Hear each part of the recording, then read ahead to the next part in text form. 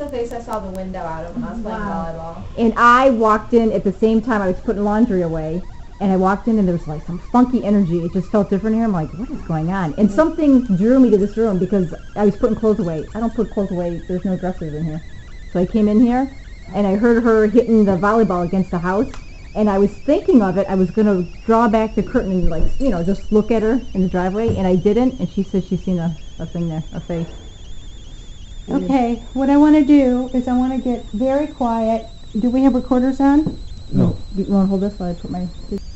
And what I want everybody to do is just to concentrate, close your eyes, and concentrate on what spirits there might be in the room. And I want you to visualize the spirit that's in the room and what he or she looks like, what it looks like. And we're going to be quiet for a couple minutes and see if we can pick anything up and see if we're all picking up the same thing.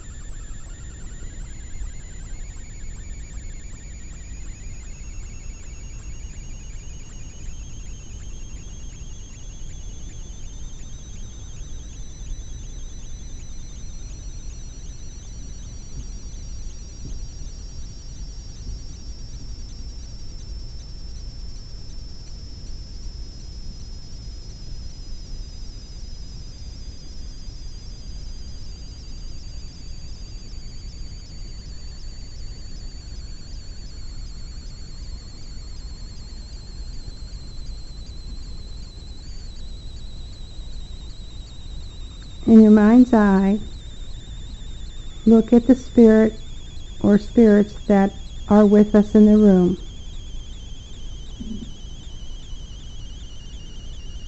Pay attention to how they are dressed,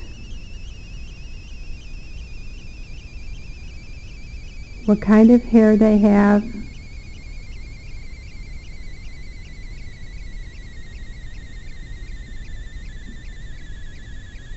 if they're wearing shoes, and if so, what they look like.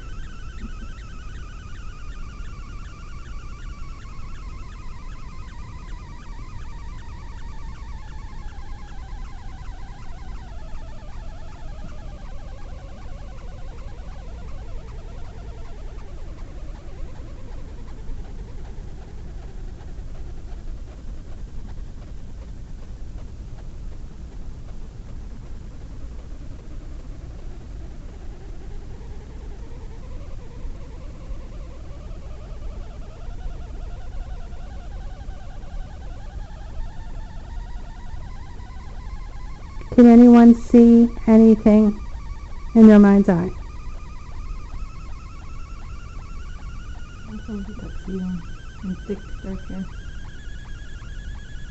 Anyone else? Uh, woman, early 1900s attire, big hat. Pearls.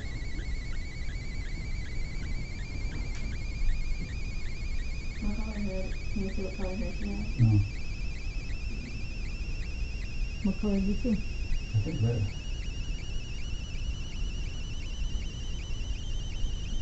Anyone else? when you said, what shoes are they wearing? And I got the sense that it was telling me, you have to have feet if you're going to have shoes. So whoever was talking to me doesn't have feet. Okay. Okay. I see a older gentleman with a very long gray beard. And he's wearing farmer's attire.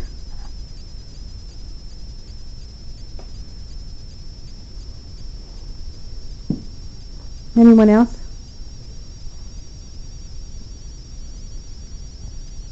I thought you would all say you saw somebody look wearing a tuxedo. I got, I got nothing. Mine was Nothing? wearing green. Green? Yeah. And he didn't belong here. Okay. He didn't, I, I tried to say, well, where do you belong? He said, I don't really belong anywhere. I just go wherever I feel like. Cool. Okay, that's very good. Okay. Sometimes they do materialize green or like a light purple. Remember in the condo? Yeah, and I mean, like, they say, my neighbor in the house there says there's a spirit over there. They supposedly, one in the house I babysit, Verdika, in her house, I always sense something. I think the Nanowskis said that before. The Hammonds that live down the street. So, I mean, like, it's in a lot of the houses around here. And they're all different? Do they report different people? Like the one you babysat at, there was actually a woman who said that it, she owned yeah, the I house. feel the one in their house is a little bit more of an angry, kind of snappier woman in their house. Mm-hmm.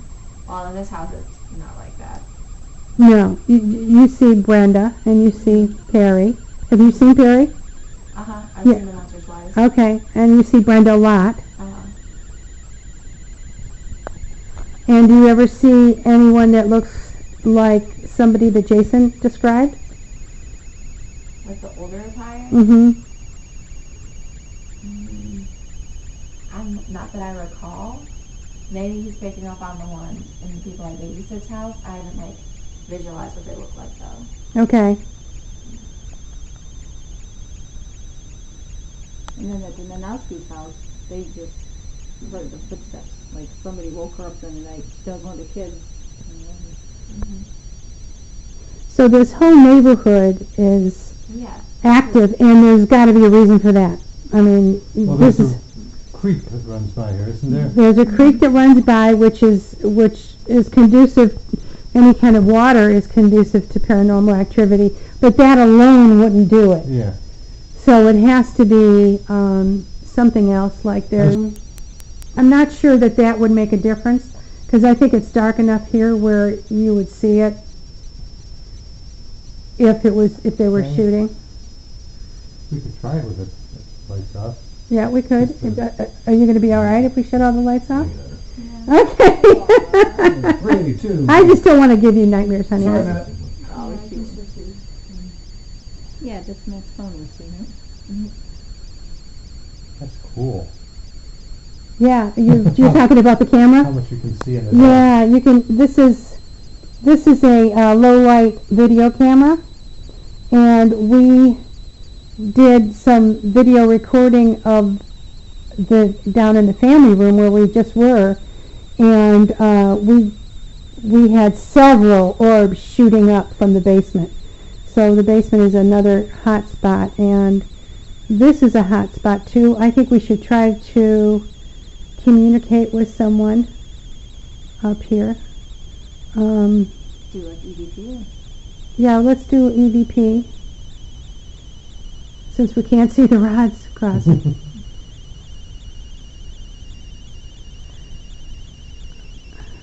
Just want to make sure my Um, okay, so let's let's see if we can get any EVPs. Darlene, you want to head that one up? Is there anybody here that would like to speak with us?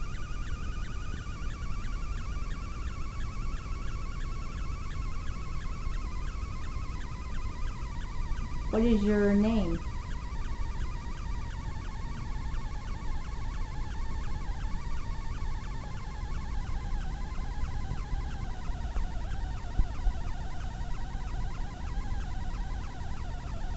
Is there a message that you would like to give us?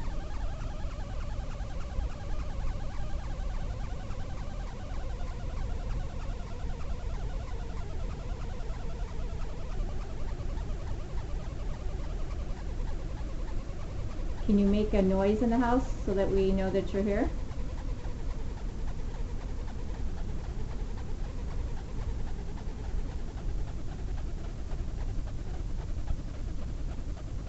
Darn, no. Stubborn. give it time. Perry, are, are you in here with us?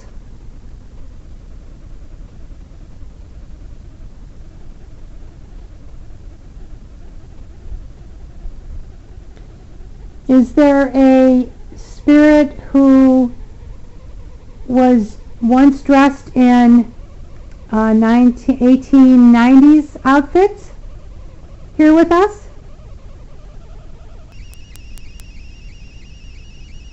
Jason, you getting a name of that lady? A, E, or M? I, I have E. You have E too? Mhm, Okay. E. Emma, I don't know. Emily? E, Something with E. I got Emma, Emily. Well, that's, that's E, M, and A. Um, Oh yeah, Emma, yeah. That's true. I kept getting E. Like Eleanor?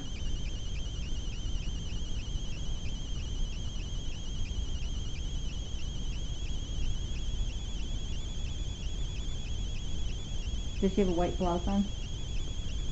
No, it's uh, like a d- uh, dark blue or black dress. Oh, okay. Something white. So it might be someone who was in mourning. Did she look like it was a mourning dress?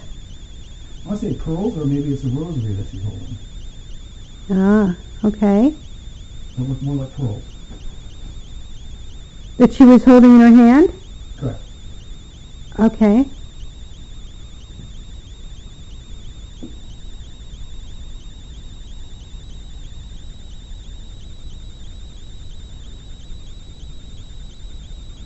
She's kind of looking like Minnie Pearl. With that big hat, right. yeah, uh, Yeah, Minnie exactly. Pearl, yeah. Yeah.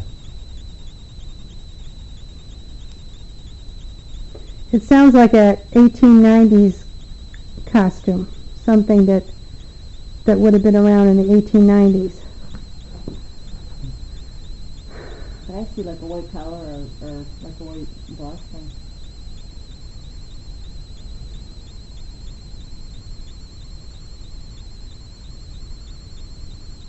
Really? Kind of like in the fairy realm where they're just. It wasn't- Okay. It wasn't a totally formed body that he was traveling around in.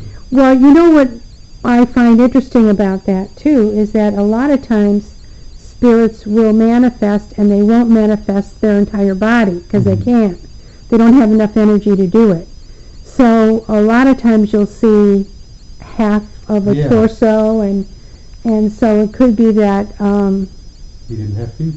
Yeah he just didn't have maybe he had feet at one time but um, he just didn't have the energy to totally manifest. Mm-hmm. Hey Matt, do you feel something behind you right now? No. Because when the light, when your light was off, I thought I saw a white shadow go by, like when your light was off. But I don't know if Darlene told you, Dan and girls, but both um, Matt, well, all three of them, Darlene and Leanne, are very sensitive, and uh, so they have all seen things, and they all see them on a regular basis. Matt doesn't talk about it as much. It's starting to come around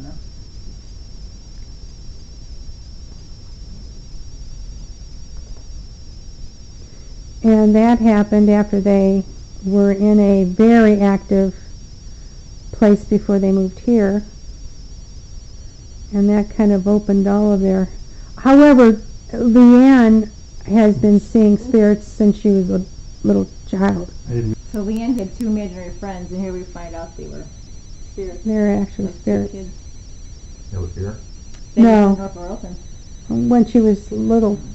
Yeah, she was like three, four of them. And a lot of times when children um, say they have, are talking to imaginary friends, uh, nine times out of ten they're actually talking to spirits. Where was the house, Darlene? Um, off of Bennett Road, Uh, Nottingham Parkway. not in Nottingham, is that over by Dallas One? Mm-hmm. Yeah, I yeah, I was there for 11 years. Okay, does anybody feel anything else? Do you feel anything else, Leanne? There was something that was up in my face for a little bit, but it went away. Okay, so, um, For the winter.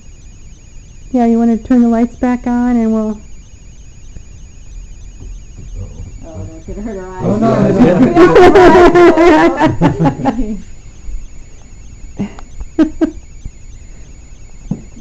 Time to take this- Good time for the basement, right? yeah, Those are almost done. Oh, 8.30 almost, good. I said, Dave, take your time coming home. Where is he? Let's take oh, a he bowls on Friday night. let's take a few more pictures up here to see if we can catch any orbs and